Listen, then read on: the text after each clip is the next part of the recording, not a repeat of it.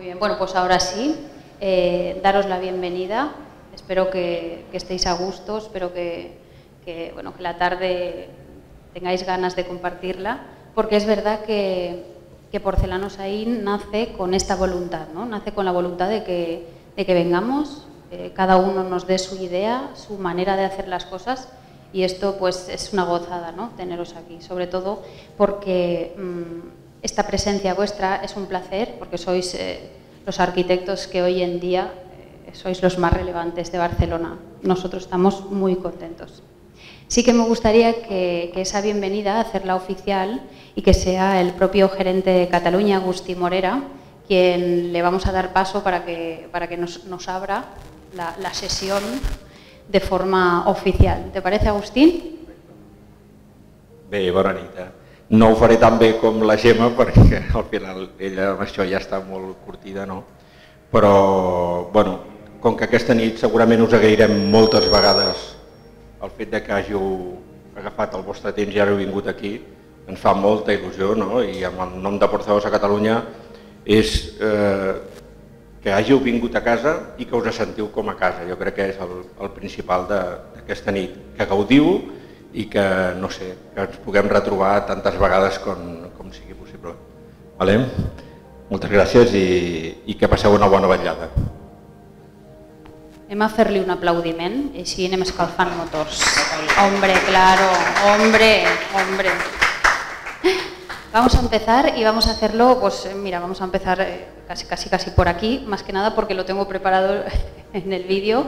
Está Paloma aquí dándonos eh, un poquito la entrada. Mirad, yo quiero presentaros a Sergio Sanz Pont. Él, eh, bueno, ya sabéis que Sanz Pont de Arquitectura, eh, la filosofía es el diseño basado en la búsqueda constante de innovación. Si nos contara cosas, nos hablaría precisamente de esta innovación, ¿no? que es lo que, lo que entra siempre en sus proyectos, en la venta al cliente también. están centrados en el usuario, gran respeto por el medio ambiente y, bueno, arquitectura es arte debe tener utilidad funcional para el usuario, cómoda, adaptarse al sitio y nos decía también en esta intro que, os estoy leyendo que debe proporcionar una variedad de sensaciones humanas, debe crear conexión entre el usuario y la ciudad. Esto ya, ya nos, gusta de entrada, ¿no? Entre el sitio y el entorno y que sobre, todo tiene que ser eh, lógica, estética y sostenible. Vamos a recibirlo con un fuerte aplauso. Venga. Y gracias, Sergio, por, acompañarnos, claro que sí. Bueno, seguimos una miqueta, ¿eh? vamos a seguir un poquito, porque L35 Arquitectos, bueno, es eh, Pamela Martín quien nos acompaña, y tengo que deciros que, por ejemplo, este estudio internacional de arquitectura, sedes que las tenéis en Barcelona, también Madrid, París, estudios asociados que tenéis en Ginebra, Miami, México, Santiago, Sao Paulo, Bogotá, Estambul, Casablanca, Abu Dhabi, ¿no? Muy bien, pues bueno, objetivo, excelencia en el diseño, diversidad, libertad creativa, bueno, tenían que estar aquí también L35 arquitectos. Una pinceladita que sí quiero daros es que, bueno, que eh, este estudio concibe el papel del arquitecto como parte integrante del equipo complejo multidisciplinar. De esto hablaremos también. Vamos a recibirla también con un fuerte aplauso.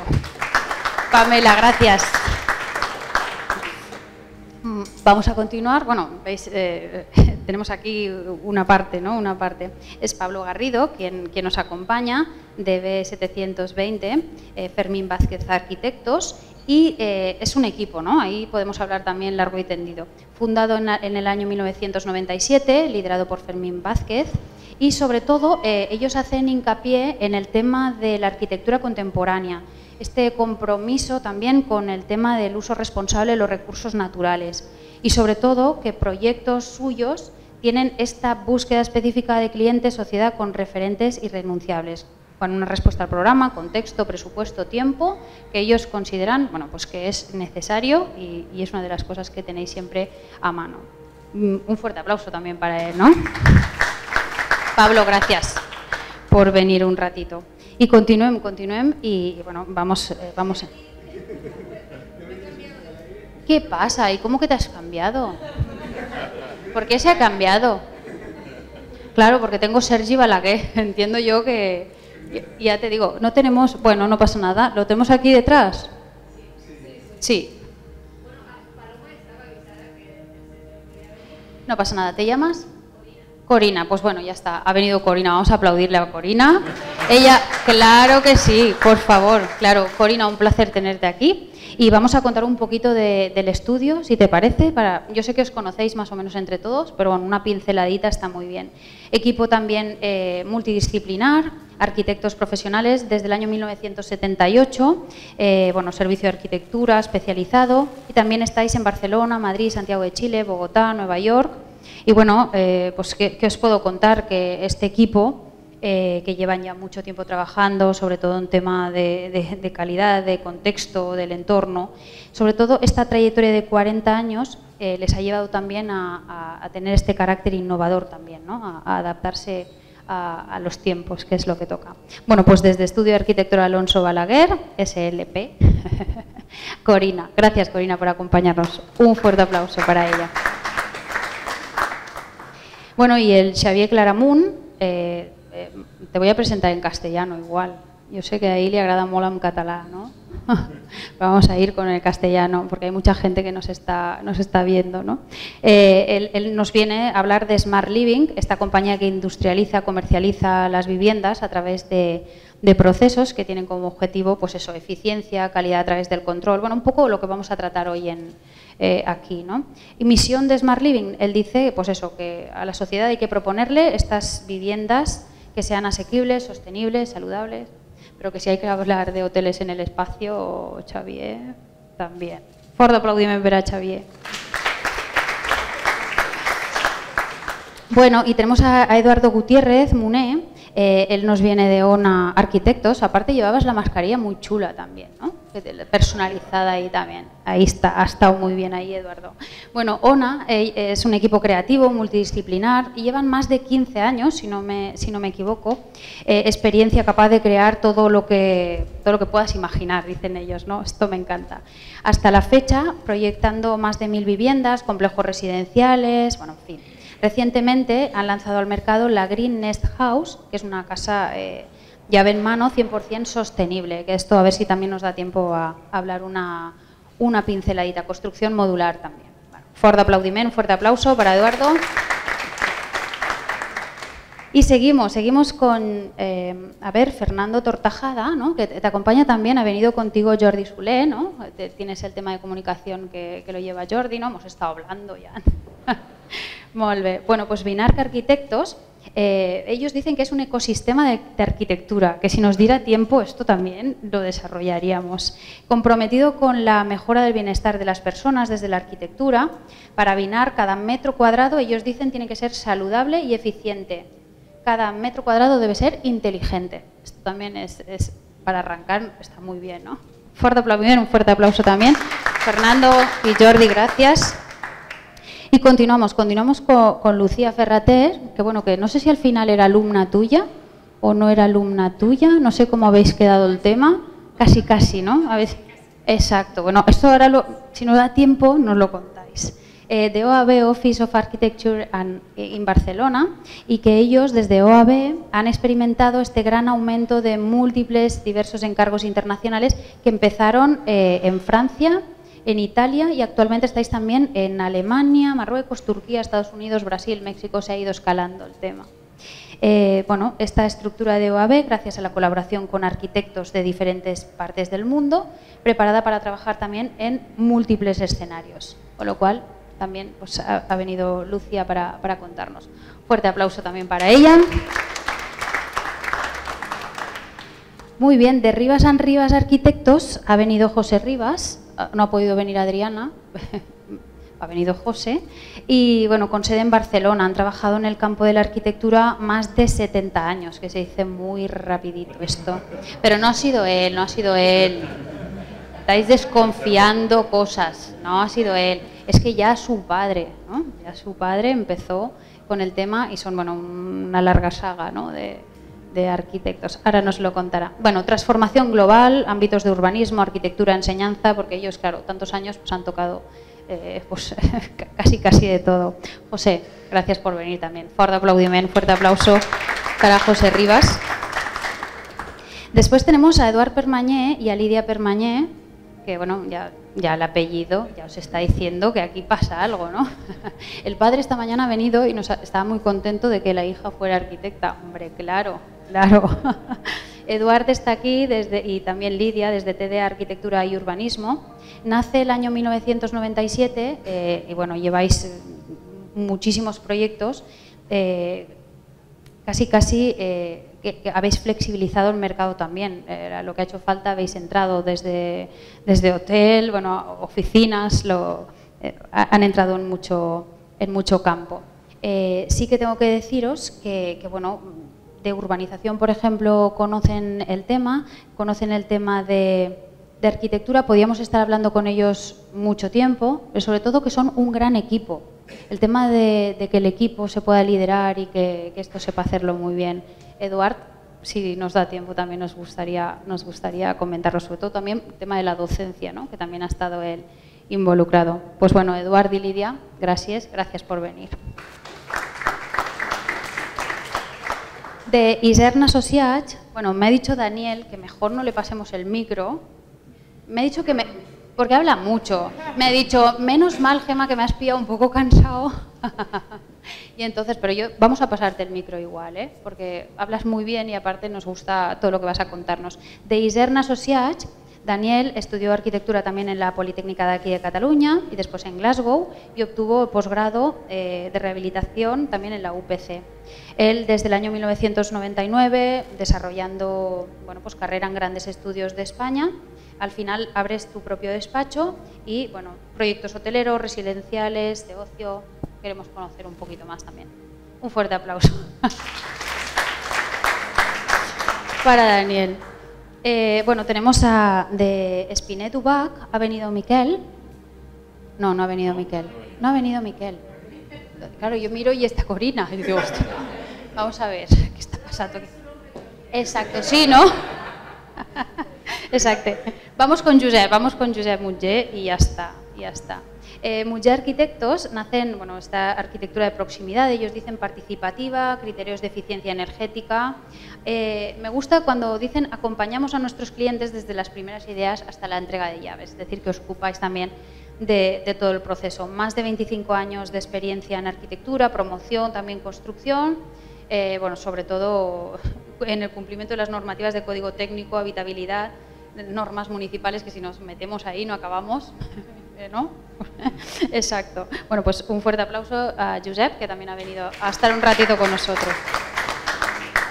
Y después sí que es verdad, a ver aquí, a ver, está Carlos y, no, Carlos Pérez y Marcelo. Marcelo, es el que nos ha faltado. vamos a llamarlo a Marcelo para decirle que, claro, dile, oye, hubieras tenido que venir si esto estamos muy a gusto aquí. Venga, de Arquitectura y Construcción y Management, eh, pues han venido eso, Carlos González, eh, Pere, Osorio, y eh, tenemos que deciros que es una empresa que ellos llaman de ciclo completo, destinada a realizar servicio completo de arquitectura, también ingeniería, construcción, desde la redacción del anteproyecto, ¿no? podemos decir, proyectos básicos, ejecutivos, en fin. sí deciros rápidamente que ellos buscan adaptarse a todas las necesidades que, el cliente pues os va, os va diciendo. Fuerte aplauso para ellos. A Marcelo. bueno, y ahora sí, yo creo que sí, vamos a abrir ahora un poquito de mesa de debate. Eh, la verdad que, el tema que, hemos escogido, más que nada es por el que el tema de la sostenibilidad lo tenemos ahora encima de la mesa a todas horas.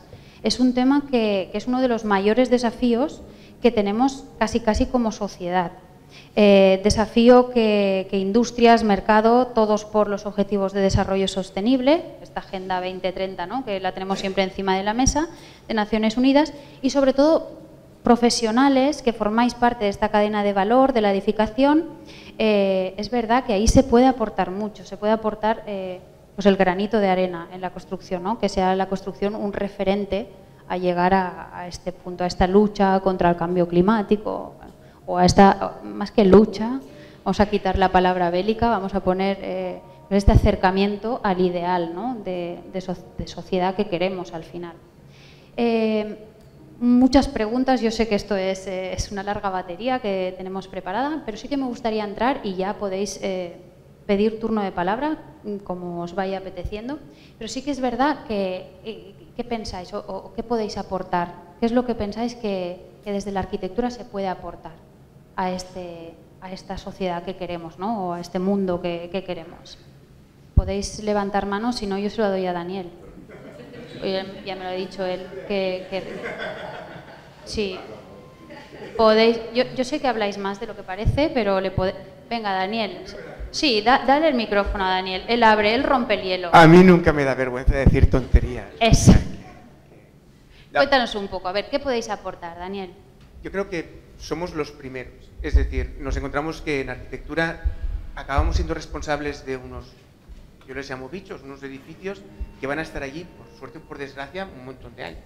Y, nuestra responsabilidad, por tanto, se basa no solo en mirar en el pasado, yo creo que basa más en pensar dónde vamos a estar dentro de 10 años, porque dentro de 20 años nuestro edificio va a ser 20 años más viejo. Entonces, si nosotros empezamos ya diseñándolo con criterios de hace tres días, para cuando lo construya, mi criterio tendrá cuatro años y tres días, para cuando lo acabe, mi criterio tendrá seis años y tres días, con lo cual cuando el edificio tenga 10 años, en verdad tendrá a nivel de criterio 16 años y tres días. Entonces cuando llega a los 20 ya será pues, todo un adulto de 26. Cuando llega a los 30, o sea, siempre vamos a estar diseñando edificios que están muy, muy, muy para atrás. Por lo tanto, a veces, claro que podemos quejarnos de los clientes, ¿no? Que levante la mano quien se quiere quejar de un cliente. Sí, acércate un poquito. Daniel, no, que levante sí, la mano quien se quiera quejar de un cliente, ¿no? Todos podemos hablar, no, pues claro, hay que explicárselo al cliente, tal cual. Pero si desde la arquitectura no intentamos um, que ya de arranque um, ir mirando dónde vamos a estar, si, si, vamos mirando dónde estábamos, pues ya, ya vamos a estar atrasados y nuestros edificios ya van a salir viejos, ya, ya no los va a querer nadie. ¿Qué pensáis el resto? Venga, vamos a pasar. Venga, Corina. Por, por proximidad. Sí, luego le pasamos el micrófono a ella, sí. Sí. Eh, sí, es verdad, somos los primeros, pero los primeros también en, en, empezar a liderar este cambio. Y nos toca concientizar a los que tenemos al lado, al sector privado sobre todo, que ya no podemos construir como hace 16 años y 3 días. y que nos tenemos, si queremos un mundo sostenible, ya tenemos que empezar a, a cambiar y invertir en innovación, en uh, digitalización, bueno, todo lo que respalda un proceso de industrialización. Así que sí nos toca ser un poco de líderes y de, de tirar del carro, creo, a nosotros. Exacto. Bueno, aquí también quería intervenir. Sí. tenemos, tenemos ayuda, ¿eh? Nos, Corina ha ido de impulso, gracias Corina. Tenemos ayuda, podéis, enseguida os van a pasar el micro, ¿eh? Gracias, igualmente. Bueno, muchas gracias. Eh, no, yo creo que, bueno, completamente de acuerdo con lo que decís, o sea, a nosotros nos toca el papel de liderar un poco el cambio en el sector y liderarlo eh, desde los edificios, pero también yo creo que en todas las fases que nos aplican, desde el urbanismo hasta la selección de materiales. Es decir, que nuestra aportación tiene que ser transversal en todos aquellos sectores en los que tenemos involucración. Y también muy de acuerdo en nuestra responsabilidad no solo con el edificio, sino con los clientes, también de manera didáctica. De manera didáctica para que... Uy. de manera didáctica No pasa nada. Bueno, de manera didáctica para que también todos estos conceptos que nosotros ya tenemos muy interiorizados realmente se trasladen a nuestros clientes y sean ellos los que después acaben pidiéndonos lo que nosotros ahora estamos intentando luchar porque se consigan hacer. Entonces yo creo que eh, nuestra responsabilidad es transversal en todos los ámbitos de, nuestro sector y además la responsabilidad de difundir lo que creemos que es importante para nosotros a día de hoy. ¿Puede por aquí? Sí.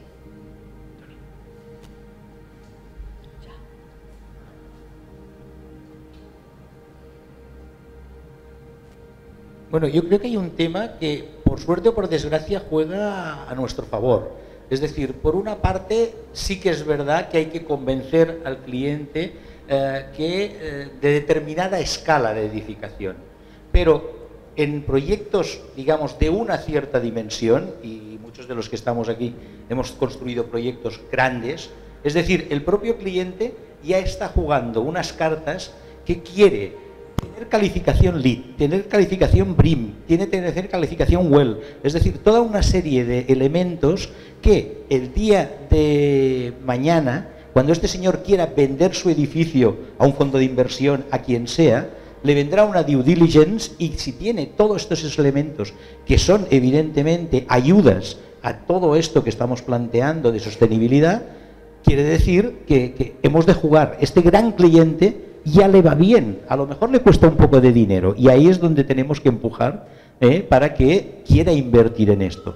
Pero si somos capaces de explicarle, oye, es que dentro de 10 años o dentro de 5, cuando te quieras vender el edificio y te vengan a, controlar ese edificio, tú podrás sacar una rentabilidad porque lo que te gastaste en su día, ahora lo estás ganando con creces en el momento en que, en que tú te estás planteando este elemento.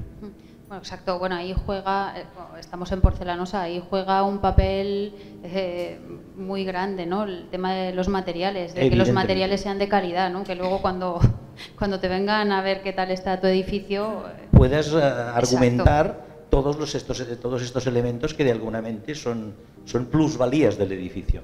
Soy arquitecto, ¿eh? no soy economista, pero sí que es una cosa con la que de alguna manera nos estamos encontrando en, en, en algunos de los proyectos. Y dices, ostras, suerte que me gasté el dinero en hacer esto, porque ahora el que ha venido ha dicho, ah, pues mira, hoy qué bien. ¡pum! Exacto, hay que pensar a largo plazo, ¿no? Ah, claro. Exacto. ¿Quién más? Eh, el tema de, de, de, la forma en la que... Ah, disculpa, sí, sí, a José. Sí, sí, José Rivas, ya vamos. El micro. No sabemos. Ara. Conozco muy bien el 35 con el que hago fantástico que es la renovación del Bernabéu, o ganamos el concurso juntos. Conozco muy bien a Sergi Balaguer, con el que he hablado hoy y he quedado el martes para comer, y después de la muerte de Luis Alonso, por el cual pido un respeto, porque era muy amigo mío. Conozco muy bien a Fermín Vázquez, que es un grandísimo arquitecto y amigo mío. Y os conozco a todos, considerándome que inicio mi carrera a los 61 años, por la arquitectura a los 61 años, y hago un discurso como romántico, pero actualmente no pintamos nada en el mundo económico de la construcción y encima han aparecido unos señores que se llaman project managers que nos putean y nos dicen una serie de cosas y voy a ser muy claro.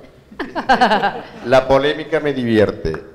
Alabar a porcelanosa es maravilloso. Yo voy a comprar todo y prescribir todo Está lo muy que bien, quiera José. ¿Vas a. ¿Vas a poder volver? No, no, va a voy a volver, pero hemos de ser un colectivo como los médicos. Es decir, nos hemos de apoyar entre nosotros. Yo con el E35, y lo digo en concreto, nos invitó el presidente Pérez al concurso de la remodelación del Bernabéu contra Moneo, Foster, Herzog, Temerón, no sé qué, y resulta que ganan el E35 y Rivas. Y todo el mundo decía, aquí ha pasado algo. Porque no puede ser que ganen el E35 y Rivas. Y lo digo con respeto, porque soy íntimo amigo de Tristán, era íntimo amigo de Jos Galán. Y cuento esta anécdota, no quiero ser pesado, porque hemos perdido el respeto del promotor en los honorarios del constructor en los, en los, no sé cómo se llama, cuando te revisan los precios, del project manager que te dice sin responsabilidad lo que tienes que hacer. Entonces yo quiero rebelarme contra algo que me divierte mucho, que es que nosotros, unidos, seríamos campeones porque la responsabilidad al final es nuestra. Es decir, al juzgado yo he ido tres veces en mi vida. Los seguros los tengo potentísimos. Y gracias, no, no, y gracias a Dios no he tenido que jugarme mi patrimonio trabajando 35 años. Mi padre también tuvo sus problemas. Mi sobrina espero que no los tenga. Pero porcelanosa es maravilloso. Me encanta que estemos aquí para hacer la pelota porcelanosa. Está muy bien, lo Yo compraré bien. porcelanosa, pero lo que más me divierte es no hablar. Es hablar de nuestro colectivo. Porque somos culpables. Los médicos y los abogados se ponen de acuerdo y los arquitectos, perdón, en vez de asociarnos y hacer cosas conjuntas, nos puteamos. Y lo digo en un sentido para provocar. Por supuesto, he dejado para el final a Lucía. Su padre y yo somos muy amigos. Y mi padre y su padre eran muy amigos. Lucía, vas tú por alusiones. Y Carlos, y Carlos, personaje fantástico en la arquitectura de Barcelona, y no quiero ser más protagonista, hemos hablado muchas veces. Y me dice, José, ¿te pagan bien? te pagan. Es que al final tenemos que estar pidiendo caridad. Entonces estoy hasta los, perdón por las señoras, hasta los cojones de pedir caridad. Y con Vamos, esto vamos a poner un inicio una conversación un controvertida. Venga, podéis aplaudirle, claro que sí. Iba, iba a pasarle el micrófono a Lucía, pero porque la ha nombrado. ¿Qué pensáis de este tema? Vamos a llevarlo ahí, vamos a llevarlo ahí. ¿Qué pensáis Sí, de este sí, tema, del eh, colectivo, lo- en cuanto a colectivo, no? En Eh, cuanto a colectivo, sí, realmente eh, sucede que la arquitectura, o sea, a nosotros nos ha pasado, o sea, encontrarnos con un cliente que, que le hemos hecho un presupuesto y enterarnos, tener muy buen, muy buen feeling con él y al cabo de poco enterarnos que un compañero nuestro les ha ofertado la mitad de honorarios. Claro, nosotros con honorarios del Colegio de Arquitectos, ¿eh? No, no, no. O sea, una cosa totalmente normal. Claro, es lo que dice José. Claro, si un- uno se desvaloriza, eh, claro, al final no respetan al colectivo. Eh, o sea, que en esto estoy totalmente de acuerdo. Y- Veo yo que vamos a tener que hacer muchas más veces esto, ¿no? De, de juntar. Sí. Juntarnos Sí, aquí, vamos sí, a hablar aquí sí, con... quizás sí. Exacto. Sí, sí. Bueno, hacernos ¿eh? psicología, ¿no? Hacernos psicología. pero, Exacto, exacto. eh, y esto, claro, el arquitecto es el único que en una obra tiene todo en la cabeza, tiene el proyecto entero en la cabeza. El resto de, de miembros, que bueno, de, de- de- de personajes que intervienen, que cada vez son más, y deberían ser los justos y necesarios, y no. José, o sea, hay más y más y más, y mucha gente que no sirve de nada en las obras. Eh, bueno, eh, eh, realmente el arquitecto es el que tiene el proyecto en la cabeza y es el medio, es el que dirige a todo el mundo. Y realmente debería ser mucho más respetada y, es un personaje importantísimo. Y se, bueno, se lo men- menchea una mica, ¿no? Mm. ¿Podéis hacer algo esto desde eh, el tema docente, Lucía? Eh, ¿qué, se puede- qué se podría hacer desde las bases, no? ¿Qué se podría hacer desde...? Se me ocurre, ¿eh? No sé. Bueno, esto es difícil, esto es difícil, no sé, no sé. Eh, bueno, esto ahora no, no, pero bueno, en la escuela sí se debería, bueno, se tiene que que, que la arquitectura es, o sea, que le tienen, no sé, que, el- arquitecto tiene que... Lo que pasa es que, a ver, una cosa, eh, el estudiante cuando empieza arquitectura se piensa que va a ser un arquitecto al uso como eh, aquello, la mesa camilla, ¿no? que me van a venir a ver eh, un cliente y me van a encargar proyectos. No, actualmente un arquitecto puede hacer muchas cosas, puede hacer de project manager, puede hacer de project manager. Hay muy pocos project managers arquitectos. ¿eh? Hay- Vamos a hacer muchos son otra mesa, ingenieros, otra mesa de pro- economistas, otras cosas. Y, y creo que deberían ser más arquitectos. Exacto. Eh, pero bueno, es igual. Si no, Sí, sí, no, la aportación ha quedado muy clara. Vamos aquí, otra... Sí, sí. Siguiendo un poco lo que comenta José Rivas, eh, nosotros somos quizá el estudio más joven de los que hay aquí y poco lo que comentabas al principio del ecosistema de arquitectura, Sí. hemos nacido con vocación de, de colaborar con otros estudios de arquitectura, de mezclar profesionales pues, tanto de- que participamos en un proyecto, que somos bastantes hoy en día, y, y creo que es una tendencia que tendríamos que, que cada vez eh, extender más, ¿no? la colaboración entre arquitectos más que la, la pelea entre nosotros o la disputa tanto de honorarios como de clientes. Hmm. Los clientes cada vez más nos tienden a tirar los honorarios más para abajo. Ah, bueno, yo creo que si, si entre todos hiciésemos más presión, como los abogados o otros colectivos, eh, quizá nos irían mejor las cosas. Exacto. Vamos a darle la palabra a Xavier y, y luego te la pasamos a ti, más que nada por la logística. sí. Jo, Josep, soc molt semblant a tu, una mica més jove per això. Jo crec que l'arquitecte ha desaparegut ja. És que jo soc una mica més radical encara.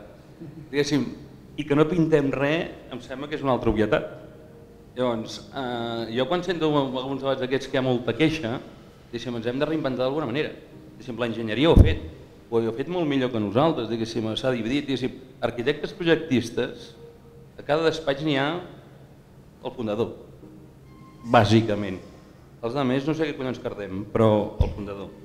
Llavors, jo crec que eh, quan es parla de sostenibilitat, podem parlar de sector, mm, crec que la reflexió és molt més íntima, diguéssim, on reinventem nosaltres mateixos, o estem. Diguéssim, això és com quan un galliner, cada cop hi ha més gallines, més gallines, més gallines, i hi ha el mateix blat. Doncs s'acaben matant. És el que ens passa. Diguéssim, evidentment que hi ha una guerra de supervivència, però perquè ningú reinventa ell mateix. Diguéssim, jo quan dono alguna xerradeta així a l'escola, a tothom li dic, no, no, no, no, tu pots ser arquitecte, però sigues arquitecte fuster, arquitecte paleta, arquitecte ferrer. Vull dir, si no, no tens res a fotre. Llavors, el resto jo crec que diguéssim, els que tenim més de 50 sobreviurem. Els que en tenen menys de 30... Esto està molt apocalíptic no. el tema. Eh? Per tant, eh... el tema és buscar-se aquesta cosa que, que ens agrada tant, això de la creativitat i aquestes xorradetes, les podem implantar en molts altres sectors. Diguéssim, un arquitecte en qualsevol altra disciplina és un número 1, perquè, perquè bàsicament l'únic que ens han entrenat és a tenir una visió una mica més global que la majoria d'altres disciplines. Per tant, podem ajudar molt a altres sectors. En canvi, estem sempre en el mateix, allà donant voltes en la mateixa cantonadeta i al final sobrem molta penya aquí. Dit això, la sostenibilitat seria el tema. Però dic, i que com a, com a col·lectiu som uns morts de gana, això també és una altra, una altra obvietat. Vale? Vull dir que, Estic que tinguis que gastar-te el teu patrimoni per participar en un concurs, és que som uns pringats. Aquesta no serà la conclusió, eh? no patiu, que no sortirà de titular. No sortirà. Ah, no, bueno. Un segonet, eh, o, o sí, no, val la pena que no, no? Val la pena que no. Un segon que teníem a. Ara després et, et passem Intentaré la... no ser tan apocalíptic. Um, jo fa 10 anys que vaig acabar la carrera i a l'ETSAP i la sostenibilitat era una assignatura optativa i bàsicament bueno, s'obviava totalment. Uh, després, uh, bueno, això no m'ho comentat, el meu despatx som jo i el meu pare. També. Val? Quan jo vaig acabar la carrera... Vaig... Si queréis castellano, no por nada, porque en redes sociales hay mucha gente que está, el que vulgueu, eh, com estigueu més a gust, no, eso sí. Uh, cuando yo, cuando entré en el despacho con mi padre, mm, in, intenté introducir todos los conceptos de sostenibilidad, de ciclo de vida, de economía circular, materiales, aislamiento, soleamiento, arquitectura pasiva, bla, bla, bla. Y que era como mi padre no entendía absolutamente nada. En ese momento era el boom de la construcción, todo iba a full, proyectos a saco, mm, hacíamos de promotores, constructores, era una máquina que no, no había manera. Hasta que no llegó la crisis, esta bestia se paró, ¿no? Y mi padre dijo, hostia, ¿qué vamos a hacer ahora? ¿no? Y yo dije, pues tienes que hacer es ir a la universidad y hacer un máster en arquitectura sostenibilidad. Y así lo hizo. Lo hizo él, yo me encargué del despacho y cuando él lo terminó lo hice yo, porque cuando él vino me estaba explicando cosas que yo no sabía. Entonces digo, pues ahora voy a hacerlo yo. ¿no? Nos hemos ido ¿no? Entonces ese paro nos ayudó a incorporar poco a poco, desde la parte siempre de clientes muy pequeños, de, digamos, me siento un poco abrumado ¿no? porque veo unos compañeros de unos despachos importantes, unas obras. Yo me siento un poco mm, David entre Goliaths, ¿no? pero uh, igualmente la sostenibilidad se puede llevar a todos los ámbitos. Entonces, yo quiero reivindicar la parte pedagógica de, del arquitecto, porque al final somos, desde que nos levantamos hasta que nos vamos a dormir, tenemos que hacer pedagogía de lo que hacemos, de defender lo que hacemos, nuestro trabajo, a, clientes, a constructores, a ayuntamientos, y también me gustaría reivindicar uh, el colectivo del Colegio de Arquitectos. Yo soy el representante del, Colegio de Arquitectos de, Cataluña en, mi municipio y aparte soy asambleario, con lo cual, mmm, por desgracia, tengo que acudir a las asambleas que hacemos aquí en, Barcelona. Y, bueno, y también creo que estaría bien que utilizáramos más, yo tengo muchos compañeros arquitectos que no asisten a, bueno, hacemos, hacemos mmm, reuniones, hacemos aparte de asambleas, pero bueno, todo el Colegio de Arquitectos tiene una infraestructura muy potente, la Escuela SER, y entonces, bueno, también me gustaría reivindicar el papel ¿no? de, del Colegio de Arquitectos como aglutinante de nuestro colectivo y no perder la esperanza tampoco, porque sí que la situación es complicada, pero yo creo que somos tan poliédricos en el sentido de que, es lo que dice el compañero, que fuera de nuestro ámbito podemos e-, e-, excel, exceler, podemos trascender en muchos aspectos porque tenemos, por suerte, una formación muy multidisciplinar y esto nos, hace muy, potentes. Lo que sí que es verdad es que creo que Barcelona es una de las ciudades con más arquitectos por ciudadano. Entonces, mm, lo del gallinero, pues un poco sí que es verdad, no hay mucha competencia y, bueno, por eso yo estoy más en las rodalías, ¿no? en, la zona metropolitana, pero, pero sí, quería hacer esta un segundo a él, eh, luego pasamos allí. Hola. Mm, a veure, dues coses. La primera, agraeix a Porcelanosa eh, el que ens hagi convidat amb tota aquesta gent. La segona, una mica seguir la línia d'ell, una mica abrumats eh, per la qualitat de, dels despatxos i la, la qualitat professional que hi ha aquí. Què faig?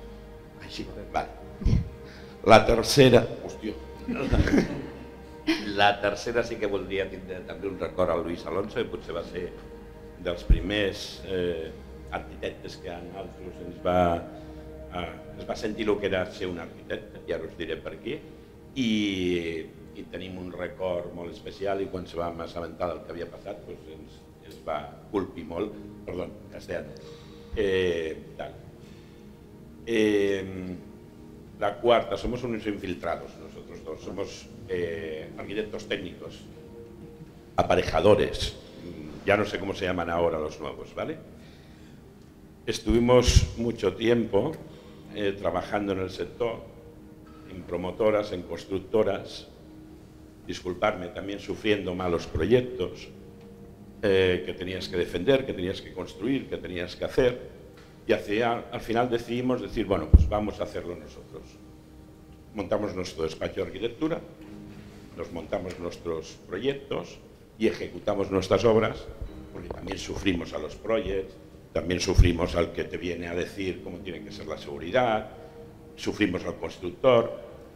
Cuando decimos de ciclo completo es decir, no os aguanto ninguno, me lo monto yo, no puedo hacer las obras que vosotros hacéis. Las hago más pequeñas, las hacemos más pequeñas. Intentamos eh, decirle al cliente, sí, eh, tienes, això ho diré en català, Venga. tot el sous a la mateixa cistella, pero es, una, pero es una cesta controlada, tienes que trabajar en mí por confianza.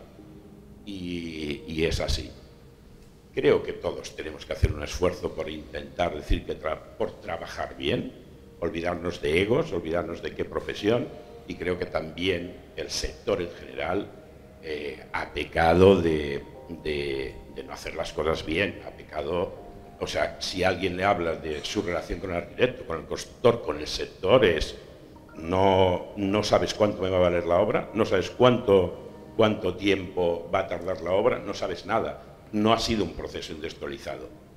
Contra eso es lo que yo creo que tenemos que luchar, ahí sí que volveríamos al inicio por lo que estamos aquí todos sentados, de decir, vamos a buscar que se industrialice, sí, no lo estoy diciendo bien, el sector, porque hemos vivido de, la gloria, hemos vivido de que soy arquitecto, soy aparejador o soy constructor, eso ha hecho mucho daño al sector. Y, no hay nadie que hable bien de la relación eh, cuando se tiene que enfrentar a esta, hacerse una casa, ya no digo, es igual, lo piensan los pequeños eh, promotores como los grandes promotores. Eso es con lo que creo que tenemos que luchar eh, porque no se ha hecho bien. A partir de ahí, nosotros luchamos de una manera muy pequeña, es decir, cuantos menos intervengan, mejor, porque no hay manera de aclararse, pero al final te sientas en una, en una caseta de obra y es de quién es la culpa de eso que ha pasado. No estás hablando del proyecto, no estás hablando absolutamente nada. Eso es horrible. No te levantas cada día para trabajar, para discutirte con alguien. Y esa es un poco nuestra opinión. Vamos a, vamos a pasar un poco la palabra, ¿eh? Sí, porque no sé si, sí, porque ya hace rato que, había... no, por si ha cambiado. Sí, hola, buenas tardes. Gracias. Eh, bueno, no, simplemente quería comentar, bueno, yo creo que está bien la sesión esta también de terapia de arquitectos, sería más necesaria más a menudo, pero yo tengo, al menos tengo el convencimiento, hacía tiempo, de que los arquitectos también muchas veces tenemos que ser un poco humildes en el sentido de que mm, yo creo que una buena obra de arquitectura siempre es una obra colectiva. Es decir, no hay buena arquitectura mm, con un mal cliente, con una mala constructora, no puedes ir en contra. No es una responsabilidad solo del arquitecto, sino que mm, somos una parte importantísima, pero si no están alineados los distintos agentes, eh, pues no funciona. Y evidentemente, pues no sé cómo se ha de hacer para alinearlos, esto sería otro debate. Pero sí que lo quería ligar también con el tema de, la, de un poco de la sostenibilidad y por lo que estamos aquí, porque también yo creo que es exactamente lo mismo. O sea, la sostenibilidad en la arquitectura es una responsabilidad colectiva que yo diría que incluso además el arquitecto es mm, de lo menos relevante que hay. O sea, mm, personalmente creo que tiene mucha más relevancia la industria, eh, la administración, o sea, es mucho más eficiente que haya regulado la Administración la eficiencia energética con una normativa obligatoria que no la buena voluntad del arquitecto intentando convencer a un cliente. Y, lo mismo pasará cuando más, tarde, más pronto que tarde regulen el impacto ambiental de los materiales o otros, otras cosas que quedan pendientes. Entonces, en este sentido, yo creo que el papel de los arquitectos, como cualquier otro tema, es el de actuar con responsabilidad y empujar hacer buena arquitectura, arquitectura responsable, arquitectura socialmente también involucrada, culturalmente bonita, eh, y, la sostenibilidad es una pata más de, todo, de toda esta responsabilidad en juego, importantísima hoy en día, y que nosotros evidentemente eh, tenemos que empujar. O sea, yo creo que un buen arquitecto hoy en día no puede estar al margen de esto. Evidentemente la solución no llegará por unos arquitectos brillantísimos, sino por la involucración del resto de agentes. Por ejemplo, sí, eh, no sé si Lucía, sí. Eh, la sostenibilidad es en, o sea que es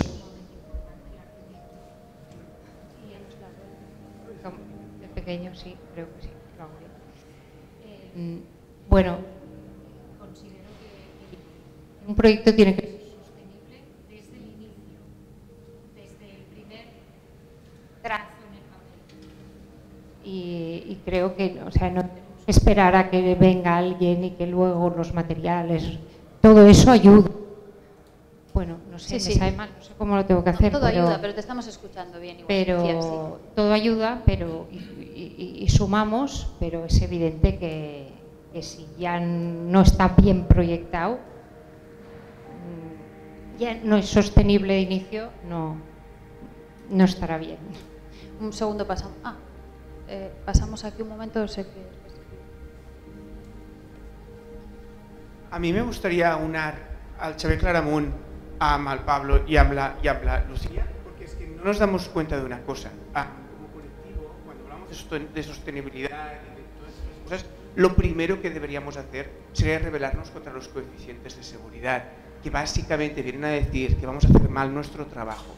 Y como que los coeficientes de seguridad vienen a decir que haremos mal nuestro trabajo, tenemos unos edificios que, que pesan el triple de lo que deberían pesar, aguantan de lo que deberían aguantar, cuestan el triple de lo que deberían costar y, y consumen y, contaminan el triple de lo que deberían contaminar. Cuando hablamos de golpe de que el hormigón deberíamos empezar a prohibirlo porque es tan malo para todo, yo levanto la mano y pregunto, colectivo, podríamos empezar a reivindicar nuestro trabajo? Això que deies tu fa un segon, reivindiquem la nostra feina? La reivindiquem. Jo sóc el primer a rectificar. El primer que hem de fer és dir, bé, doncs llavors a, a parlar bé del que fem. Perquè van començar, empezaron a colocar coeficientes de seguridad imposibles de... Bueno, alguien se da cuenta que lo multiplica por 2,1 y lo divide por 1,6, porque es, es ridículo. Es, es, es, y, y, por qué lo hacen? Por lo que tú has dicho hace un segundo. Porque asumen que lo hemos hecho mal. El proyecto está mal hecho, está mal dibujado, está mal calculado y eso seguro que no se aguanta. Entonces, ¿en qué momento hemos usado nuestro un poco, un poco de orgullo y hemos dicho, oye, que yo fet bé, tío? ¿eh? Entonces vienen Verán y, llaman al, project manager, este tan simpático, que, dice que, las cuantías están mal, ¿no? Que encuentras, ¿no? Y que hay que volverlo a calcular. Ah, y que no te pagan por volverlo a calcular porque está mal, ¿no? Y porque puede hacerse más barato. Entonces, vuelvo a decir, como colectivo que FEM, entonces cuando empezamos a hablar, y lo llevo a la sostenibilidad, es que para ser sostenibles lo primero que hay que hacer es hacerlo bien. Entonces, somos sostenibles cuando tiramos pocas cosas. Y resulta que nuestro, colectivo está construyendo con unas normativas ¿no? que cuando decimos es más sostenible que de golpe hagamos una directiva que RAO. Pero lo más sostenible de todo es que reivindiquemos la excelencia de nuestro trabajo y que lo hagamos bien. Y que entonces seamos responsables con nuestro patrimonio si la cagamos. ¿eh? Es, decir, es, perdón, ¿eh? que los he, los he juntado todos, es como una carambola mágica. Pero, pero, entonces, pero entonces conseguiremos que nos paguen honorarios porque seremos responsables de lo que hemos hecho, porque penan y digan, total, se aguanta igual. ¿eh? Yo, yo, yo no le he oído a un cliente decirlo, total, si no le pusieras el pilar se aguantaría. Porque como que va todo tan sobredimensionado, se aguanta, claro que se aguanta. Claro que se aguantaría. Le podemos poner uno sí, uno no, se seguiría aguantando. Entonces, entonces, claro que se nos pueden saltar, claro que nos menosprecian, porque saben que van con un estamos haciendo, tenemos unas normas, hemos trabajado tan mal durante tantos años y no nos hemos quejado cuando nos han empezado a tratar como niños de parvulario, que ahora nos tratan como niños de parvulario. Y, y y sí, ahora le llevo la sostenibilidad. Queremos ser sostenibles, lo primero que tenemos que hacer es reivindicar la excelencia de nuestro trabajo y hacerlo bien. Y cuando lo hagamos súper bien, nuestros proyectos estarán bien y por tanto serán sostenibles. Pero entonces dejaremos de tirar y sobredimensionar cosas, que es lo que nos está pasando ahora. Tenemos a Sergio que está aquí escuchando, eh, hace ruido su cabeza. ahora le pasamos enseguida el micrófono. ¿Qué piensa Sergio? De... Primero que nada, gracias por la invitación, encantado de venir. Eh, comentando el tema del colectivo ¿no? y, y, de cómo nos damos hostias entre todos, es que todo el sistema ya está hecho desde el concurso de arquitectura, las ideas, eh, los presupuestos, y ya nos ponen a competir ¿no? desde, desde el minuto uno. Cuando haces el proyecto y vas a la obra, haces la dirección de obra y estás contra la constructora en medio del, cliente, ¿no? Y siempre estás en esa batalla eh, en la que el sistema está creado de esa manera. Eh, yo creo que este tipo de charlas vienen muy bien para conocernos, para eh, poder... alguien dijo el tema de la colaboración, yo estoy muy a favor de la colaboración, yo creo que el hecho de trabajar juntos, conocernos y yo creo que el arquitecto es el que pone las ideas y organiza las cosas, pero es responsabilidad de todos los involucrados en la construcción. Hablando un poco del tema de la industrialización, el hecho de eh, trabajar con una información previa, ensamblarla antes de llegar a la obra, hace que también repensemos más las cosas, que vayamos a una digitalización donde puedas trabajar directamente con, el industrial, en vez de estar yo mando, tú obedeces, saber quién dice, tú la cagas y es así, ¿no? Eh, para mí el tema de la industrialización y la digitalización es clave, ¿no? Para, para poder colaborar, trabajar en equipo y que las cosas al final salgan bien para todos. ¿no? ¿Cómo, nos veis de preparados para, la industrialización aquí en, España? ¿Nos veis ya que estamos eh, a niveles europeos, por ejemplo, o aún nos falta camino? Bueno, falta camino. Es verdad que está empezando y el primer paso es el más importante de todos, pero eh, el objetivo está ahí, cada vez se van haciendo más edificios, promociones, más altura y más eh, edificación y eso es el primer paso. Entonces hay que seguir en ello y... Para, gracias. Para el tema de, de, esta industrialización, eh, he escuchado esta mañana que, que Xavier decía, eh, no, voy a hablar de, de prefabricado, voy a hablar de preconstruido, porque con el tema de prefabricado tenemos todavía es una palabra que genera eh, un poquito aún de repelús. Veo que hacéis así. Contarme, hacerme así, pedir, pedir micro. ¿Crea repelús este tema o no, Xavier? Mira, jo, Preconstruido, me habías dicho. Per eh? una mica en positiu, diguéssim. Venga, ahí. Uh, castellano mejor, ¿eh? Pero... Mejor, mejor en castellano, diguéssim. Yo cuando hablaba antes de, reinventarnos es que yo creo que tenemos, tenemos una cualidad que no, no, la valoramos nunca. Yo creo que cada uno piensa de su manera, creo que la mayoría de los estudios trabajan con toda la intensidad que podemos, pero lo bueno y lo malo es muy complejo. esto es, una putada, porque para ti es bueno y para mí a lo mejor es malísimo, no? Eso es una mica complicado. Pero si la intensidad de cualquiera de nuestros estudios tira, pues ya está bien, ¿no? yo, yo agafant lo de, lo de la, cuando es sostenible, yo tomé, nosotros tomamos una decisión muy heavy, va a decir, nosotros dejaríamos de hacer proyectos para nadie y només treballarem para nosotros, ¿no? Y yo he montado una industria, va dir, a partir d'ara jo haré mis casitas, les venderé, eh, les industrialitzaré, inventaré mis sistemas y, y intentaré que nuestra sostenibilidad sea al máximo de apetecible, básicamente porque no tienes intermediarios. nosotros generamos casas como si fueran neveras, la gente nos puede criticar a saco o lo que sigui, pero sí que industrializamos 100% y hasta que no yo personalmente o nuestros equipos no han empezado a industrializar, muchas de las cosas que había que estaban bien son una puta mierda. Porque la mayoría de nosotros no sabemos colgar bien una cubierta. La mayoría de nosotros no sabemos qué es un premarco. La mayoría de nosotros no sabemos qué es que entre una gota de agua.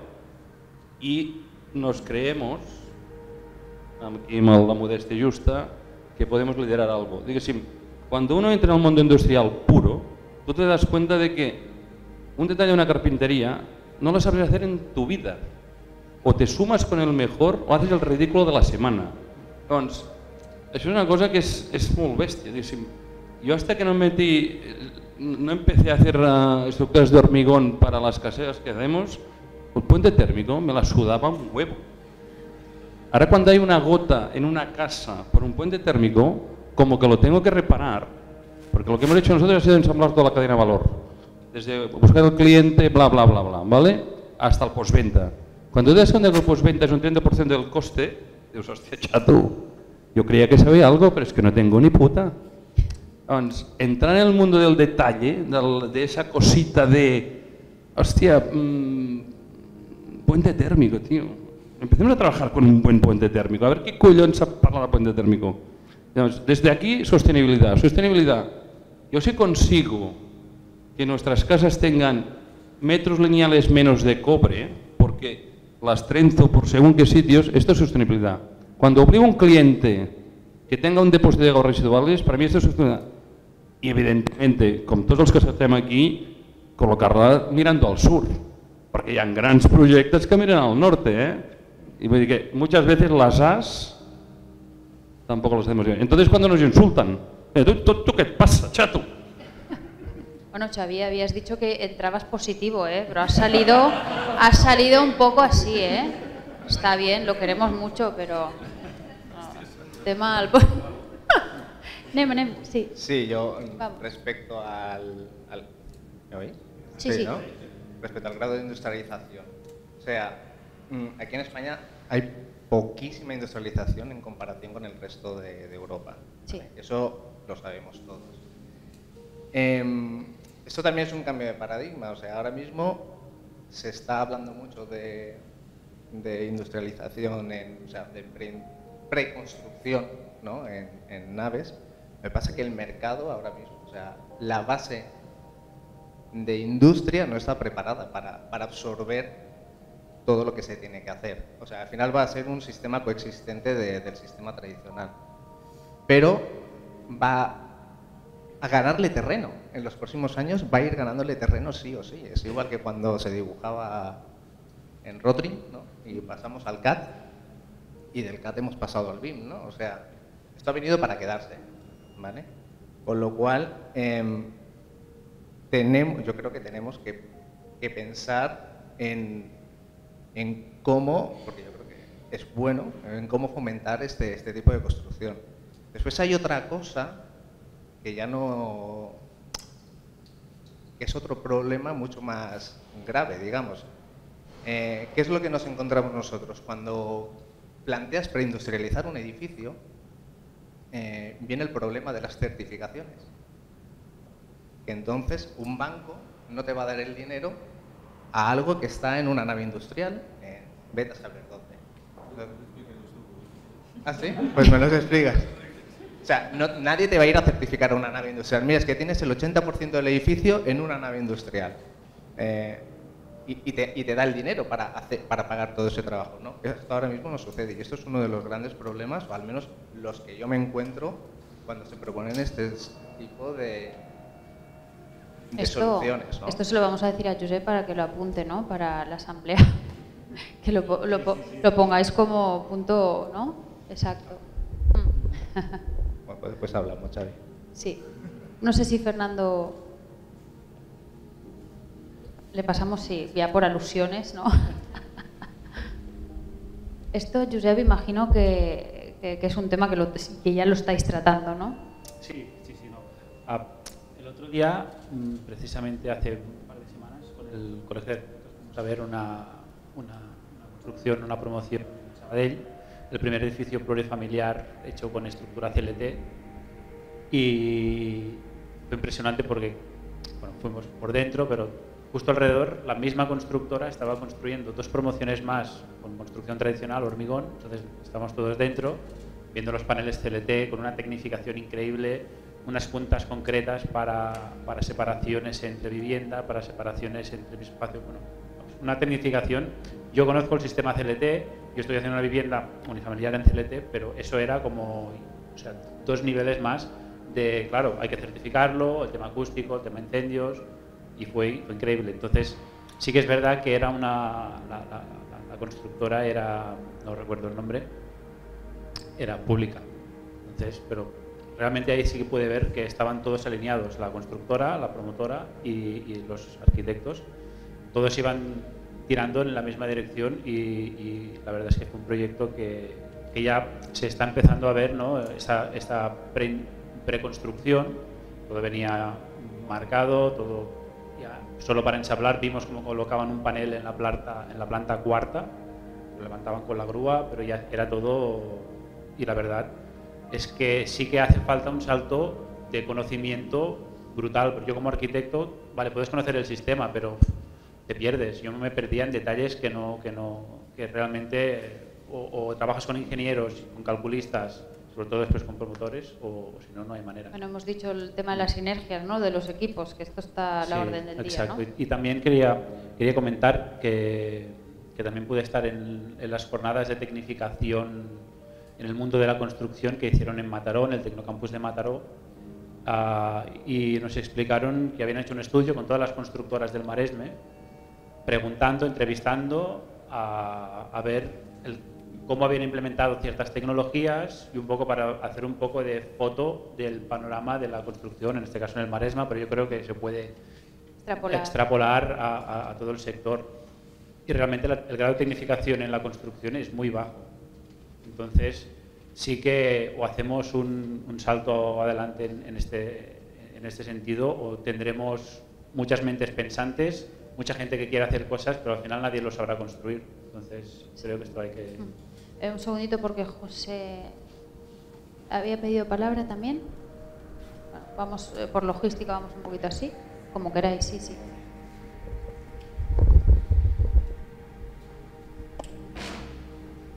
Hola. Eh, no, completamente de acuerdo. yo creo que el tema de la sostenibilidad nos obliga a estar en una formación continua pero a la sostenibilidad porque tenemos que ir de la mano de la industria en muchos casos. Sí que podemos pensar la sostenibilidad, vuelvo a lo que decía al inicio, a nivel de urbanismo, que es fundamental, eh, también a nivel de arquitectura, sistemas bioclimáticos, orientar bien la casa, lógicamente, o el edificio, pero después también tenemos la selección de materiales y para la selección de materiales es fundamental que podamos eh, acompañar a la industria y que haya un feedback entre nosotros para estar al día de todas las nuevas prestaciones que, salen, los materiales no solo como mejora de prestaciones, sino también eh, la industria que ya está analizando el consumo de agua, la reducción del consumo de agua, el consumo de energía, la huella de CO2 e intentar apostar realmente por este tipo de materiales. Eso yo creo que es nuestra responsabilidad como profesionales estar también en una formación continua.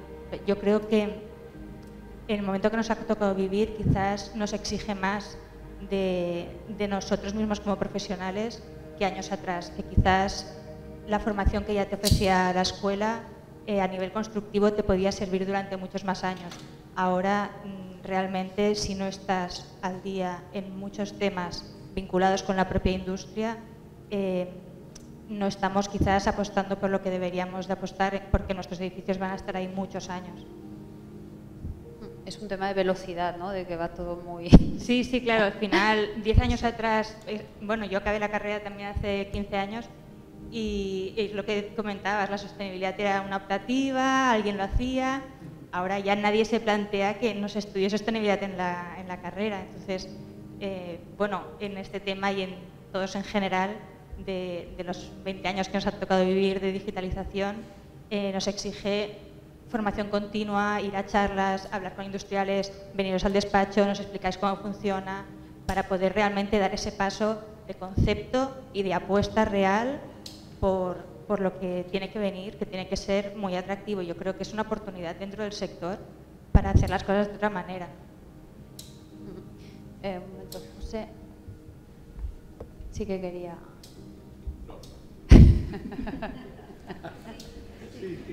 Yo, perdón. Uno, el Colegio de Arquitectos es un desastre a pesar de su puta que es como... Cameron fue un desastre. Ludevit Puig, a la cual vaig veure. Yo me encontré en muchas situaciones, pero no quiero explicar mi vida personal porque me parece un horror. Con respecto a ti, lo que acabas de decir hace 15 años. La, no creo en la industrialización porque es para mí la antiarquitectura. Cuando digo la antiarquitectura. Yo tengo Anti, aquí Antiarquitectura has dicho, ¿no, José? Sí, sí, antiarquitectura. Yo tengo aquí delante un edificio que es un hotel, que tiene formas de palmeras. Y que Escofet, hace 20 años, en el Nou, me hizo lo mismo, pero con un aplacado de ladrillo. Y aquí he hecho unas palmeras que lo hemos repetido, ha salido bien. Y gustará o no gustará. Por dentro hay un jardín vertical y hay otra serie de cosas. Pero en esta mesa de arquitectos, yo creo que cada uno diría, diferente, daría su diferente opinión sobre la sostenibilidad. Yo no tengo puñetera idea de lo que es la sostenibilidad. Como empecemos a hablar con porcelanosa, que es donde estamos, por la industrialización, es que este suelo que es maravilloso, ¿es industrialización o no? Pregunto, no, no, es que es una pregunta que yo me la hago a mí mismo porque me considero tonto. Y digo, entonces, ¿cómo mejoramos la industrialización y la sostenibilidad en los próximos 20 años con porcelanosa? Porque estamos aquí invitados por porcelanosa. Yo no lo sé y no sé quién lo sabe. Dos, creo más en el método de hace, cuando tú lo has dicho, 15, 20 años, en donde venía el estructurista. Yo recuerdo las épocas con mi padre, que hacía un detalle a uno a uno, un perfil de ventana, o de un, que ahora Tecnal, por ejemplo, lo ha industrializado. Industrializado. Entonces, perfil y digo, es una tontería. Y si lo haces de otra manera, es mucho más caro. Entonces te viene el promotor, o te viene el constructor, o te viene el cliente, o es que esto es mucho más caro. Es decir, lo único que vamos a hacer para mí es una cosa, y diría miles de cosas, pero es apoyarnos. Y ahora diré la última cosa. Yo tengo un master plan maravilloso en una ciudad, y el ejemplo es Berlín, en donde el señor Renzo Piano, al cual conozco, hizo, cuando se tiró el muro de Berlín, hizo todo un proyecto de ciudad. Y con Chipperfield, que eran amigos, un edificio para ti, uno para mí.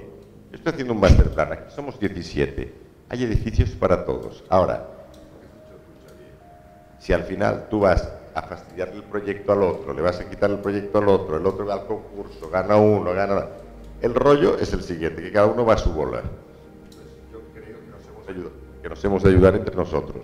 Porque con Sergi, que he hablado esta mañana y hablé el otro día por lo de Luis, nos vemos para trabajar, por ejemplo, en una ciudad del mundo, juntos, porque solos no iremos a ningún sitio. Ahora, el calculista, el instalador, el asesor de fachadas, Xavier Farrés, o quien sea, eh, es para todos.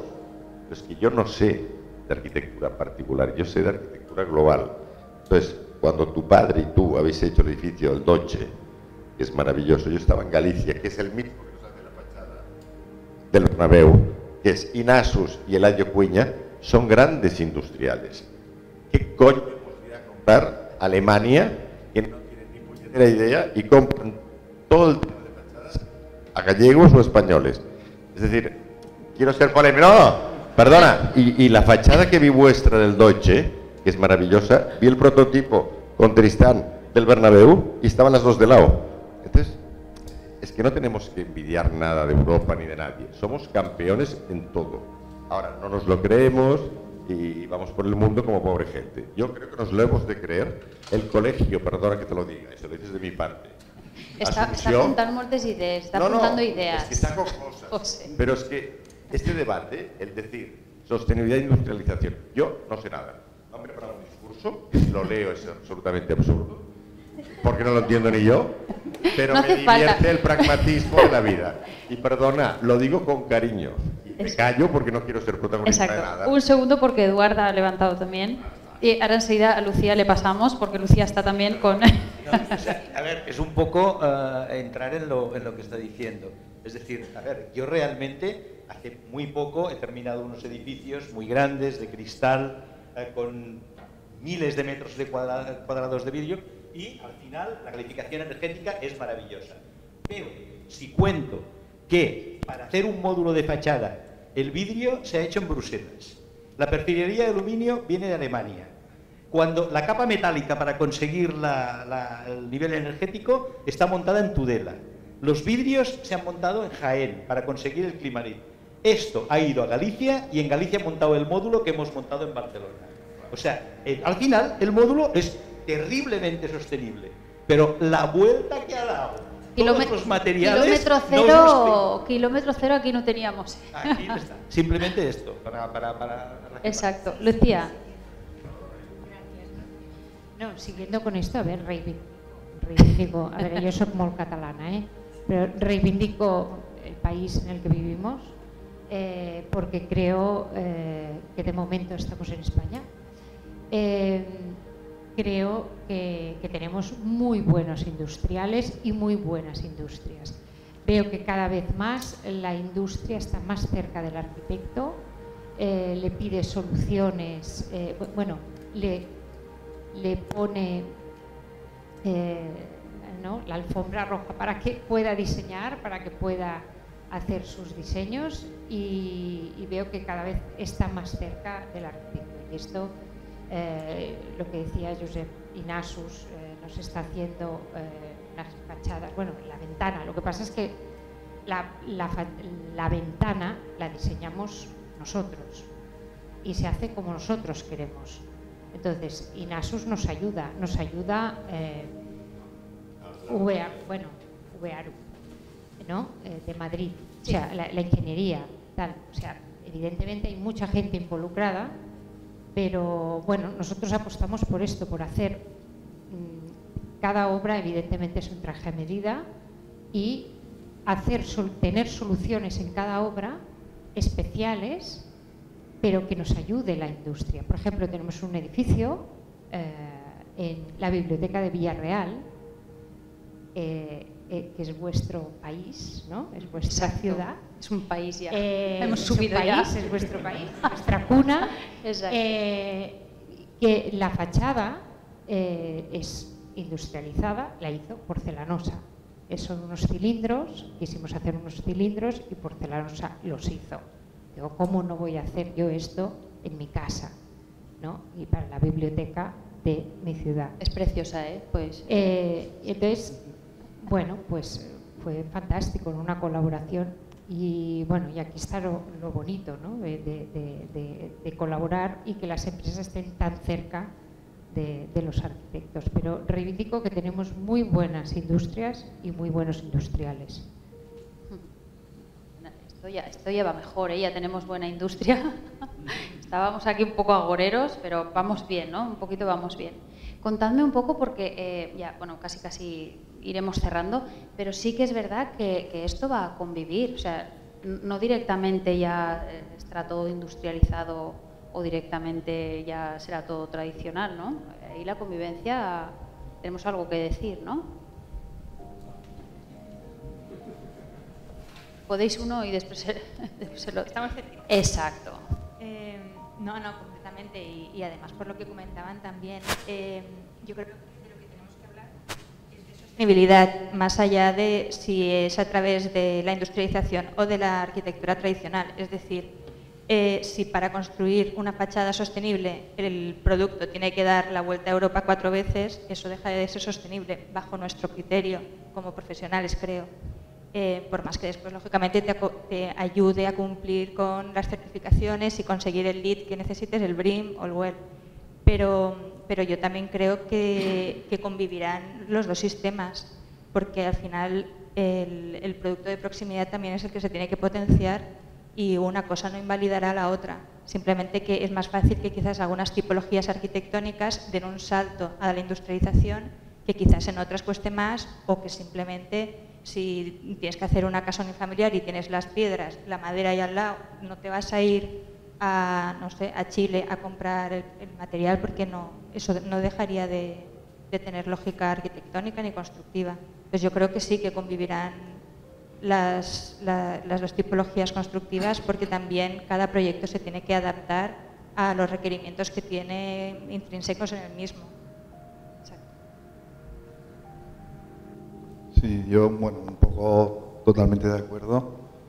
Eh, bueno, y añadir un toque, a ver, por si puede ser un poco más polémico. Venga, venga. tenemos diez minutitos, ¿eh? Bueno, simplemente lo que quería decir es como, como, tú, es que, es que yo creo que han de convivir. Uy, hay una cosa que a mí me gusta mucho, que es comparar la arquitectura con, con la alimentación. Entonces, lo mismo que haya alimentación industrial y preparados y, y, cocinados, mm, hay eh, alimentación natural. Entonces, eh, la industrialización o la industrialización puede ayudar a alimentar mucha más gente, a solucionar muchos problemas, pero estaremos todos de acuerdo en que el futuro no será solo alimentación industrializada, o esperemos. esperemos. Y yo creo que en la arquitectura tendría que pasar lo mismo, porque, y eso también es una opinión, creo que eh, industrialización y sostenibilidad mm, son dos cosas que no tienen que ver, son dos cosas que hablan de procesos, una cosa habla de procesos y otra habla de gestión de recursos. Y evidentemente los procesos industriales tienen que tener esto en cuenta y es una dificultad muy grande, pero no es un sinónimo industrialización de sostenibilidad. Exacto. No sé si, Patricia, yo no sé si la tenemos... no, te habíamos ni saludado, eh, Patricia. Hola, gracias por acogerme, que me he colado aquí. Ella viene de ISER, exacto. Eso es, venía, venía de espectadora, pero mira, me sumo a esto. Estoy totalmente de acuerdo con lo que acabas de decir, porque eh, yo creo que hablamos de la industrialización y tiene una connotación para los arquitectos que, aunque creo que todos tenemos esa parte creativa y la tienes que sea, la desarrollas ¿eh? cuando la estudias porque estudiamos proyectos, entonces te están exigiendo eso. Y aunque luego te vaya llevando la vida laboral por otro sitio, tiene, tienes el pozo. ¿no? Y estoy de acuerdo con lo de la... Para mí la industrialización tiene un punto de estandarización, que no tiene por qué ser, pero sí que, ¿sabes? Tiene así un puntito de ese recuerdo. Entonces, a mí me gusta pensar que la industrialización se basa un poco más en, o, cómo lo vería yo, ¿no? esa experiencia que tú recoges de, lo que sabes. Entonces, los industriales obviamente pues tienen una materia, se dedican a esa y se convierten en expertos de realización de ese, de ese proceso en concreto.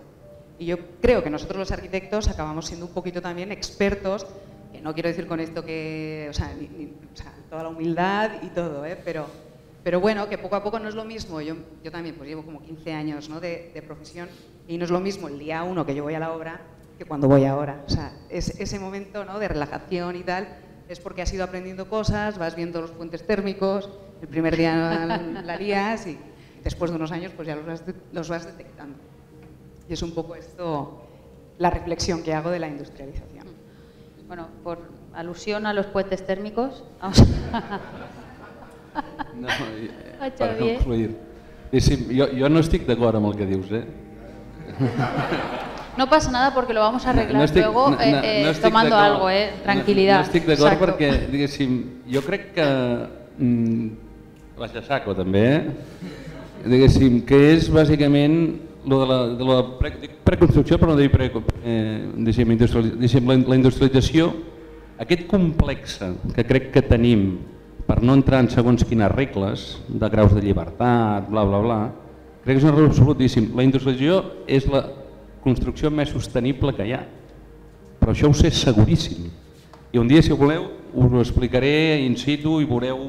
Eh, el, perquè al final, diguéssim, els processos de producció, diguéssim, com pot ser, canvi de tema, que un cotxe, segurament ho sabrem, no? Uh, que té, no sé, deu tenir 180 motors elèctrics, valgui 12.000 euros. I qualsevol dels nostres catxarros, com a mínim val 400. Jo sempre ho dic, dic, les nostres cases tenen menys peces que un mini pimer i valen 400.000. Penso, hòstia, en canvi quina cosa tinc, que hi ha molt bona, sé els fils, sé quan tinc que reparar, on tinc que reparar, mm, sé que no perdo cap metro lineal de fil perquè el tallo just, dius, hòstia, això ens quadra l'enginy i la creativitat. Això és una puta mentida. Depèn de la teva habilitat, sempre de la teva habilitat. Llavors, aquesta cosa de som creatius i vinga, som-hi, mm, ojo, eh, perquè per això ens tenen tanta mania. Eh?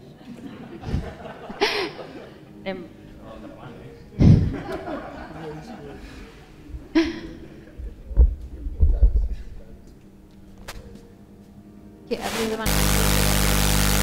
Ella. Sí. Ah, bueno, no passa res. Corina i després Lídia. Mm. es verdad que la, la, la, industrialización tendría que ser sostenible. De momento hay mucha teoría y poca práctica. De las dos, porque estamos haciendo másters todavía y aprendiendo, pero que tenemos muy buenos industriales también, pero en el mundo de la industrialización hay muy poca competencia todavía. Y por eso, de momento, una, una construcción industrializada pues sigue siendo más cara que una tradicional. Por este motivo, por la, por la falta de competencia y de, alineación. Eh, sostenible creo que es um, ajustarse a las condiciones que tienes, porque construir bien también, pero si un cliente, uh, como ha sido nuestra experiencia, por ejemplo, de un edificio industrializado, te dice, yo tengo un colegio que no quiero que pare el funcionamiento y quiero construir una residencia encima de unas aulas, pues era la única manera de hacer un edificio en una nave y montarlo en dos meses que tienes de vacaciones. Y creo que esto sí es sostenible, no ha salido más barato, pero sí que las condiciones eran estas, pues dos meses de vacaciones y nada más. Pues por eso, de momento la sostenibilidad creo que se, tiene que eh, mm, contar en si tú al final has dejado el cliente contento o has cumplido con las expectativas, pero de momento hay mucha teoría. Exacto, vamos con Lidia, yo creo que vamos a cerrar aquí. Sí, ¿no? Mientras le paso el micro a Lidia. Sí, sí, siempre coge el micro, lo veis, ¿no? Un coche, un coche cada dia pesa menys. Un cotxe que cada dia costa menys, cada dia pesa menys, cada dia consumeix menys. Un edifici cada dia pesa més. Això és el que fas tu. no els pagues? Anem a fer una... Clar, però, però, és això, però és el que vull dir, que, que quan parlem dels enginyers han sabut reivindicar molt bé, nosaltres no. Un segon, perquè com que no... Xavier, Xavier, Xavier, que no tens, no tens micròfon i no... No cal. Vinga. Pesava 12 tones fa 3 anys. Ara em pesa 2 i mitja. Per tant, quan tu treballes amb intensitat en una direcció, però amb intensitat, perquè, clar, el que ets molt ara val una dècima part del que volia. Te'n surts, depèn d'on hi fotis l'enginy, diguéssim. Però te'n surts. Diguéssim, aquest és exactament. I si això ho traspassa qualsevol dels elements d'un procés de fabricació... Este señor no puede ser sin micro. El señor no puede ser sin micro.